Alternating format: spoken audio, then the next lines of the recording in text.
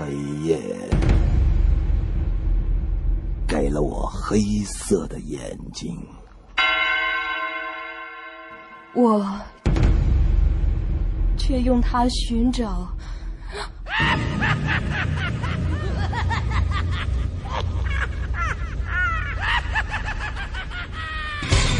惊恐让我失去了聆听的勇气，可那声音却一直在我耳边回荡。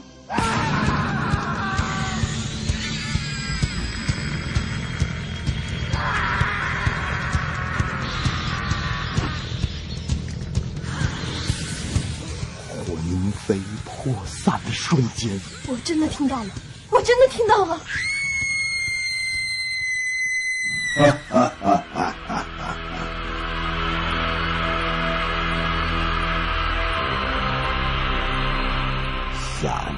跳的深夜广播，关不掉的收音机，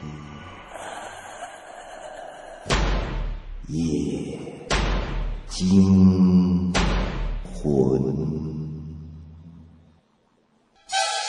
一次艰难的勘测旅程，中间是一条不足两尺宽的小路。哈，不要的，程老板。汪队，你还是小心一点儿。一件可怕的杀人故事。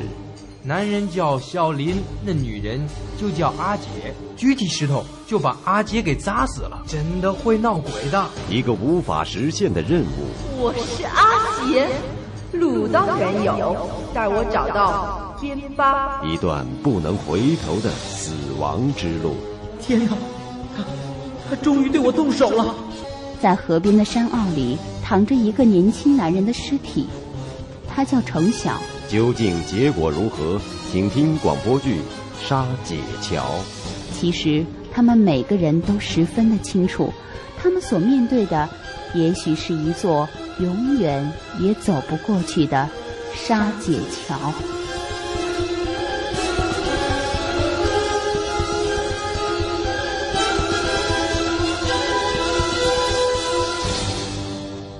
上一集我们说到，一时受到控制的旺堆在程晓的催眠之下，显现出了阿姐的本来面目。原来阿姐之所以控制旺堆，是想让程晓等人帮他找到害人的边疤。为了离开可怕的旺堆，程晓三人准备步行离开，但没想到的是，旺堆居然跟了过来。那么程晓有没有找到边疤？接下来还会发生什么可怕的事情呢？请您继续收听广播剧《沙姐桥》第五集。天哪，这个阴魂不散的家伙像个影子一样跟着我们，赶不走也甩不掉。看来我们是生生的被他给赖上了。程晓，怎么办呢？那家伙还跟着我们呢。小程，旺堆好像把马也带过来了。哼，这样也好。现在我们有马可骑了。程晓，不会有事儿吧？怕什么？该面对的就要面对，该发生的就要发生。旺堆，旺堆，把马赶过来。是老板。这是一个六月底的夜晚，繁星点点在头顶上方不停的闪耀。马匹不需理会，自己就会平稳的在山路上徐徐而行。迎面凉风阵阵袭来，吹得人通身舒坦。马铃响处，一面面黑黝黝的山峦引入身后。如果在平时，程晓一定会对这样的美景大加赞赏。但是此刻，他没有一点心情观赏外面的风景，因为他不知道这条路究竟能走多远，更不知道身边那可怕的旺堆会带给他们什么样的灾难。程晓，看来我们真得去找边巴了。可能是吧。那万一找不到呢？嗨，找不到再说吧。真倒霉，都怪那可恶的丹增。要是他不和旺堆打赌的话，我们就不会有今天了。不过，咱们刚才对旺堆的催眠，倒是真的挺管用。最起码，我们了解了阿姐的目的是找到边巴。如果咱们真找到了边巴，阿姐就会去和他清算他们之间的恩怨，那我们也就可以解脱了。那我们三个也将回到各自生活的泥潭当中，继续摸爬滚打，斗天斗地，斗人斗命运。如果真的可以解脱，那日后我肯定会在不经意中想起，在这样的深山中，有三个男人曾经和一个女鬼有过一段并不浪漫的邂逅，还差点丧命于他的手中。哼，这或许只是个梦吧。这一切。让我感觉是那么不真实。哎，旺堆呢？哎，又睡着了。是啊，他倒睡得舒服，可他把我们折腾的够惨的。不过这孩子也够惨的，发生着这所有的一切，他自己竟然毫不知情。这三个人边走边聊，其实谁都知道前面的事情是未知的，是福是祸无法定论。他们想了很多种假设，但是有一个假设谁都不愿意去想，因为那对他们太残酷了。谁都不能肯定是否找得到边巴。如果打听不出他的下落，更或者他早已客死他乡，那么根据阿姐的意愿，他们三个人必须死掉其中的一个。可是，在这与世隔绝的深山里，又有谁愿意留下来陪他？而且，还是以鬼的身份。山路漫长，程晓、小李和刘公的话越来越少，最后大家都不说话了。寂静的黑夜里，只剩下叮当的马铃声孤独的回响着。如果要选择让谁死的话，我投了老刘一票。这个人平时活得并不舒服，家境艰辛。身上担子越来越重，如果阿杰选择了他，那他双眼一闭，索性一死了之，岂不是更好？况且他生命的繁华时期已经过去了，一个老人，他对自己的余生还抱什么希望？没了，没什么了。嗯，就是他，实在太合适了。没想到徐总派他来，原来是为了寂寞的阿杰送来一个伴侣。不，不。我怎么能这么想？真是太自私了。是，我自己都怕死，别人肯定一样，包括老刘、小李，谁甘心就这么死掉了？唉，这个输家到底会是谁呢？假如阿姐把选择权交给我们，会不会？我会不会自己动手干掉老刘？我会不会？程晓拉住了思维的缰绳。不敢再问下去了。其实他们三个人在心里都在琢磨这个问题，只不过每个人选择的死亡对象不一样而已。在这个生死关头，平日里的朋友情谊一时间都不重要了，而这一点正是阿姐能够乘虚而入的真正原因。唉，好闷，好烦呀！连头脑的活动都要受限制，真无聊。数星星吧，一颗星星，两颗星星。呸呸呸呸呸！在当地的传说中，如果人仰头数天上的星星，那么星星也在数地上的人。一具尸体，两具尸体，呸呸呸！太不吉利了。马背一起一伏，有节奏的晃动着。就像是一个摇篮，程晓在那轻柔的晃动中，不知不觉睡着了。妈妈不在家，姐姐哼着小曲，温柔的摇我入睡。我又变成一个纯洁的婴儿了，我满足的躺着，不哭不闹，除了吃奶和睡觉，我什么都不想，什么都不要。宝宝，姐姐要你陪着姐姐。陪着姐姐做什么？姐姐不要陪，才不要陪呢！我什么都不要，去死！去死！不要！不要！不要！啊！程程晓，你怎么了？啊啊哦哦，没事儿，没事儿。程晓被这个奇怪的噩梦惊醒，心中说不出的恐惧，一种不祥的感觉从心里蔓延开来。就在这时，马。突然停住了脚步。刘公，程老板，是不是你们？程晓，好像是丹增他们。丹增，是你吗？是我，刘公，老板，你们快过来！是丹增？哎，他不是和扎西走了吗？怎么又会在这儿呢？丹增他们没走。啊？是不是？是不是遇到什么麻烦了？谁知道呢？咱们过去看看吧。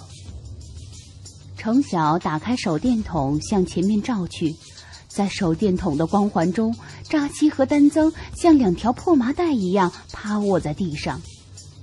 扎西斜躺在丹增的怀里，脸上血肉模糊，双眼紧闭，张大了嘴巴，呼呼的喘着气。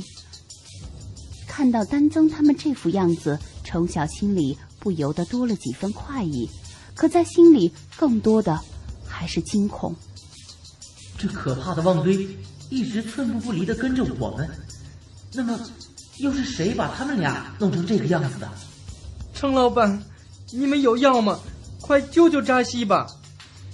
程晓从达夏动身之前，为了以防万一，带了不少疗伤治病的药品。他连忙下马，找出药箱，给扎西敷上了云南白药，然后扯条绷带包扎了伤口。丹增，你们这是怎么搞的呀？扎西怎么会伤成这样？老板，对不起，我和扎西想早点赶回去，把这件意外告诉旺堆的家人，谁知道赶到沙界桥前，马就不走了。就像看到桥上有什么东西似的，怎么打就是不肯走。我看情况不对，想返回去找你们，可扎基不干，他拿衣服把马头蒙上，非要走。结果走到桥中间，他的马拼命乱跳，把他扔到桥下，头撞在石头上，就成了这个样子，流了那么多血。老板，没办法，我只好。带着他们来找你了。天哪，这可怕的沙界桥，难道要害死所有的人吗？丹增，快把扎西扶上马，咱们赶到昨天的宿营地再说吧。他们现在所在的地方离昨晚宿营的山坳已经不太远了。丹增把扎西扶上马，抱着他跟程晓他们一起向那里走去。扎西主要受了外伤，脑震荡并不严重。止住血后，神志便清醒了，只是脸色煞白，看起来非常的虚弱。很快，几个人便到达了前一天宿营的山坳。丹增，快去找些柴火烧火，烧点水给扎西喝。小李、老刘，你们搭帐篷。火光又亮了起来，在深山的黑夜中，为这几个被恐惧折磨着的人们带来了一丝温暖。旺堆呢？旺堆在哪儿？刚才的一阵慌乱，大家都好像忘了这个人似的，竟没有顾及到他。听到程晓的话，这才注意到旺堆。这个时候，旺堆也下了马，远远地坐在火光之外，朦胧中身影模糊，就像一块冰冷的怪石，更像一棵枯死的大树。阿姐在离开那座以他命名的桥后。还在那里留下了什么呢？丹增他们被劫下来，是不是意味着，若想找到边巴，丹增这个翻译必不可缺呢？丹增，丹增，昨天你说那个小林被抓走以后，边巴就搬了家，你知道他去了哪里了吗？不知道，老板。当初我父亲讲这个事的时候，他没说。那你父亲呢？去世了，前年走的。火很大，水很快就烧热了，发出了嘶嘶的声响。丹增一直不敢正眼看程晓，他觉得有些惭愧，几次想要向程晓道歉，但却欲言又止。程晓把对旺堆催眠的经过告诉了丹增。程老板，对不起，我和扎西也只是想逃命，但没想到事情会变成这个样子。丹增，我一点也不怪你，真的。眼下最重要的事情是我们怎么找到边巴，丹增，你能帮我们吗？没问题，我去村里问问。老板，我这就去。丹增，先不着急，你先去给扎西喂点水喝。好的，程老板，我给扎西喂完水就去村里问。程晓见老刘和小李已经把帐篷支好了，就吩咐他们俩小心看护扎西，尽量不去理会旺堆，然后便起身和丹增一起向村里走去。哟，都十点多了，村民们现在都睡了吧？应该睡了，没关系，我去叫门。老板，你别动，我一个人进去就行了。丹增嘱咐完程晓，便一个人走上前去。牧民的家并没有围墙，只是在屋子附近用石头垒起个小小的园子，用来圈住牲口。丹增喊了几声，屋里有人答应，随即便亮起了一点微弱的光。接着门开了，一个男人在跟丹增交谈。过来吧，老板。听到丹增的召唤，程晓走了过去。这家的主人是一个高大的中年汉子，赤着上身，面孔模糊。他喊住狗，把他们让进屋去。一盏煤油灯蹲在屋中央的炉子上，灯光如豆。除了这一方炉子，四下里黑咕隆咚的，看不真切。丹增从主人手里接过长长的一条东西，横摆在程晓的腿上。老板吃，程晓仔细一看，那是一整条生牛腿，上面插了一把一尺多长的刀。呃，不不不不不不，这家伙我可对付不了。老板吃嘛，别客气。哎呀，不用管我，丹增，你去跟他谈正事儿。丹增和那个男人围在灯下，小声的嘀咕着，不时重复着“边巴”这个名字。几杯酥油茶喝下去，丹增终于站了起来。老板，我们走吧。哦，谢谢你，打扰了，再见。走出屋门，程晓急忙向丹增询问结果。哎，怎么样？问出来没有？边巴在哪儿呢？他不知道，老板。他说他不知道边巴搬到哪里去了。那我们岂不是全完了？丹增，那别人呢？我们去别的家打听打听，没用的，老板，他是村子里年龄最大的人了，他不知道的事情，别人更不清楚的。天哪，这可怎么办呀？除了卡嘎的村民，这世上恐怕再没有人知道边巴的下落了。难道我们三个人非要死一个不成？边巴，这个逼得人家一死一疯的混蛋，你到底去了哪里了？老刘和小李在营地守着扎西，见程晓他们回来，赶忙站了起来。哎，怎么样？打听出来没有？哦，村里的人都睡了，明天再说吧。那那我们今天晚上怎么过呀？万一万一我们睡着以后，旺堆发作起来，那我们死都不知道怎么死的呀。我想过了，今天晚上，小李、老刘、丹增和我。我们四个人轮流值班，每个人盯两个小时，看紧汪堆。一旦有什么不对劲儿，马上喊醒别人。老刘，你说怎么样？行，最好就是这样。那谁第一个值班呢？我第一个。两个小时以后，小李接班，接下来是丹增，然后刘工，你是最后一个。好。听了程晓的话，老刘、小李和丹增各自回帐篷睡觉了。程晓一个人坐在了火堆旁。远处的旺堆依然保持着不变的姿势，呆坐着一动不动。草原的夜说不出的寂静，天空中繁星闪耀，和煦的风吹得人昏昏欲睡。程晓在火堆边默默地坐着，疲倦的感觉一点一点的侵蚀着他的身体。慢慢的，他闭上了眼睛。猛然间。一只大手捂住了他的嘴巴，一股呛人的酥油气味钻进了他的鼻孔。是，是放堆，他要整死我！天哪，他，他终于对我动手了！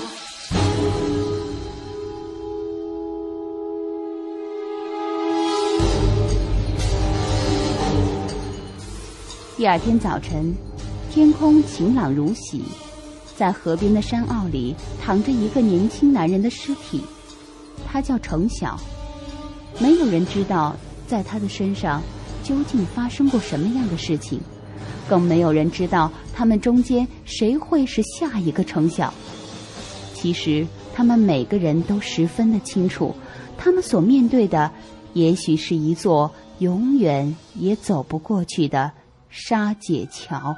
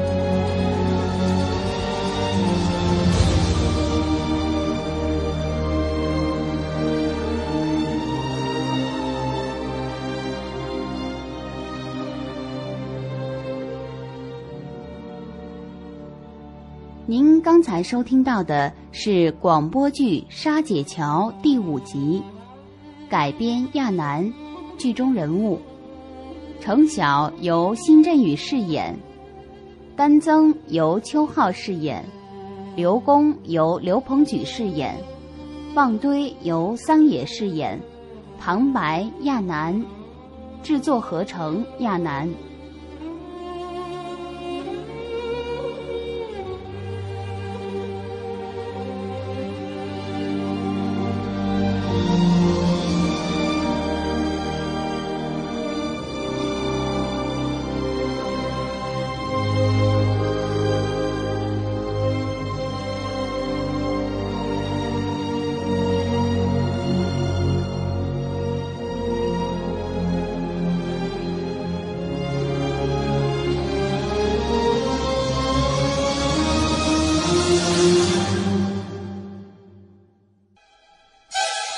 一次艰难的勘测旅程，中间是一条不足两尺宽的小路。哈，不要的，程老板。汪队，你还是小心一点儿。一件可怕的杀人故事。男人叫小林，那女人就叫阿杰。举起石头就把阿杰给砸死了，真的会闹鬼的。一个无法实现的任务。我是阿杰，路当然有，带我找到。一段不能回头的死亡之路。天哪，他他终于对我动手了！在河边的山坳里躺着一个年轻男人的尸体，他叫程晓。究竟结果如何？请听广播剧《沙姐桥》。其实他们每个人都十分的清楚，他们所面对的，也许是一座永远也走不过去的沙姐桥。